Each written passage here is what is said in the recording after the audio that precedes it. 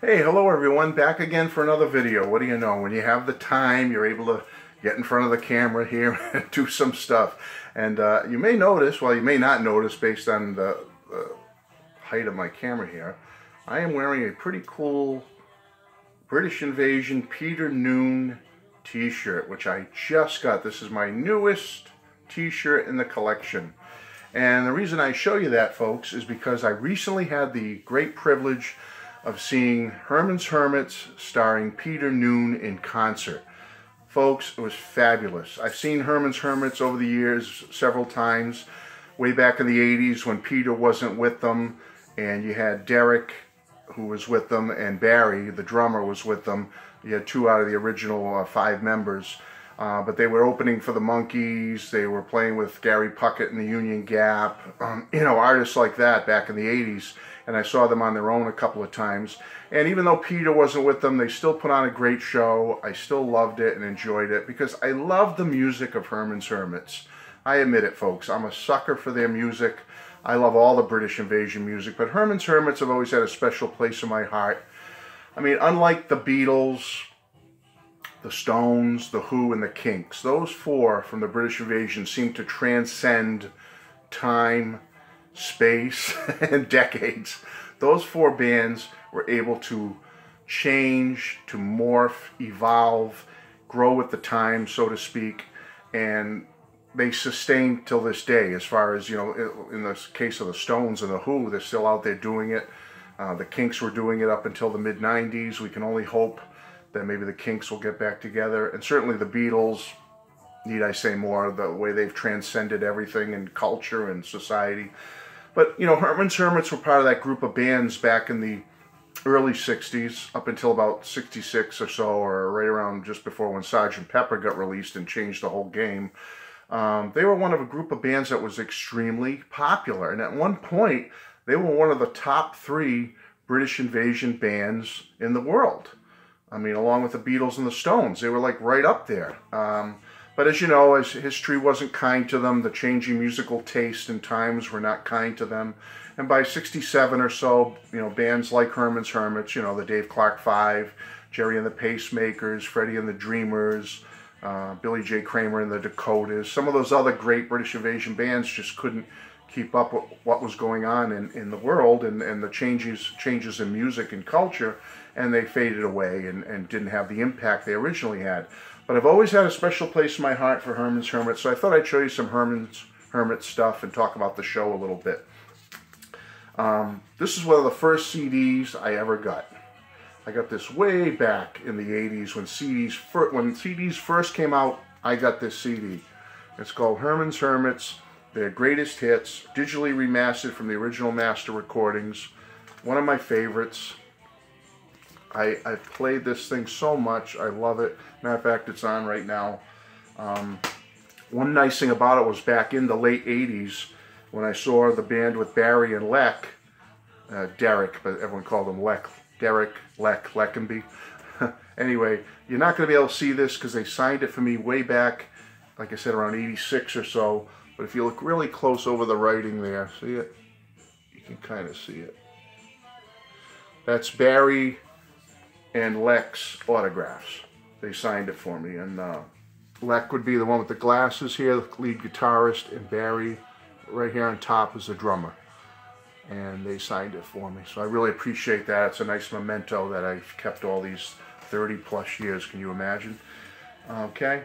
A DVD I recommend is this one. It's the only one I've ever seen for Herman's Hermits. It's called British Invasion, Herman's Hermits, Listen People, 64 to 69. You get 22 complete performances, folks. You've got to get this. Um, this is a fabulous DVD. What's nice about it, as I said, is different from the anthology. The Beatles, I mean, later they came out with the One Plus package, which had all the complete videos. But remember Anthology, only got clips? Not in this. This is kind of like Herman's Hermits, anthology, but you get the complete performances on television and on stage. It's fabulous. So check this out any of you fans of British Invasion or Herman's Hermits, get this, folks, while you still can. It's fabulous. And this was part of a series. I think you can get like a Dusty Springfield one, a Hollies one, and there might be some other bands from, from Great Britain you can get, but definitely, oh, Gerry and the Pacemakers have an edition of this, but this one, Herman's Hermits one, is fabulous. I love it. Highly recommended.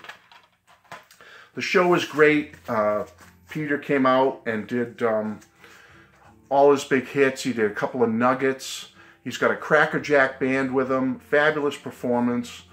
Very gregarious, nice man. At the end of the show, the final song is a kind of hush.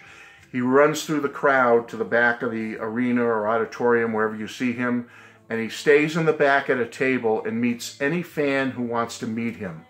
And that's how I was able to meet him recently. Uh, I've seen him twice now doing that, and once, and only for privacy purposes, I got to cover some personal information. But he signed this album for me, as you can see. Peter Noone. Um, the Best of Herman's Hermits, it's called. I can show you uh, another edition of it, actually. Mine's in really great condition. This one is a little beat up, but this is the one he signed for me. It's called The Best of Herman's Hermits. Has a gatefold. Herman on the back. You can see it's a much, mine's in much better condition. And um, on the original, they were on the MGM label way back in the in the day. I'll show you one of the albums. There you go, MGM. But he runs to the back. He sets up at the table. You can buy some of his wares and stuff. That's where I got this shirt.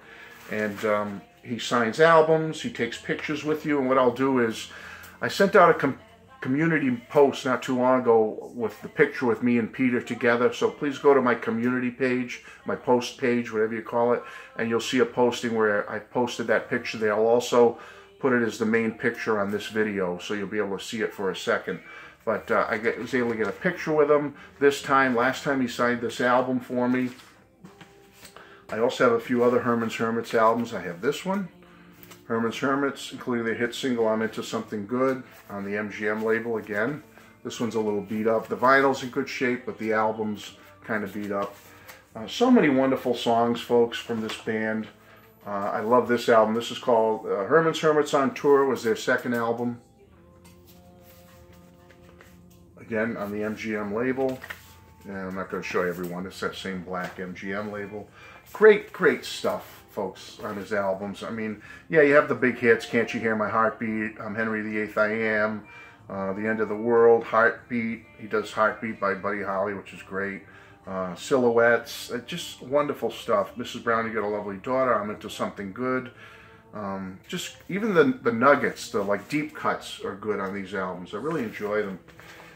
A few years ago, I want to say several years ago, kind of matching my CD like this, that back picture of Peter on the beach there, I got this. I got a vinyl copy, which is called, a different cover though, Herman's Hermits 15 Greatest Hits. Um, this would be on the ABKCO label. And my real prize that I've got recently that I really love is an 180 gram vinyl of this album. Again, same back picture there. It's on uh, 180 gram clear vinyl. You get 16 greatest hits. And that one I'm going to show you. Still kept in the shrink. But I just love this. I love the label on it, the way they did this whole thing. Look at this beautiful thing. You have the band picture right on the label. Nice clear vinyl. Other side's the same. Check it out. Isn't that nice? Just a nice looking piece of vinyl there. So I, I, love this band. I've been very much into them for a long time. Seen them several times without Peter. I've seen Peter in concert a couple of times. And the one most recently was just a few days ago. And he took the picture with me, which you'll see. And um, what a great guy. What a, Just wonderful music, happy music. It's music that takes me back to my youth and makes me so happy. And I just wanted to do a quick video about it for you folks, less than 10 minutes, and just say, what do you think of Herman's Hermits? Do you like them? Do you have any of their stuff? Um, if you make videos yourself, maybe you could show your Herman's Hermits. what do you say? Okay, that's it, folks. Herman's Hermits, a great band from the British invasion era, sometimes overlooked, but they are wonderful. I truly love them, and I hope you will too. God bless. Take care. Bye-bye.